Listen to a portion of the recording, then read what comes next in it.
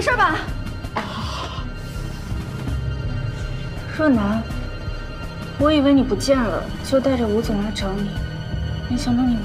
这里是公司，还请两位注意一下场合。李先生，如果你要想谈私人情感，请离开，去外边谈。吴总，怎么帮了你们的忙，不感谢反而过河拆桥呢？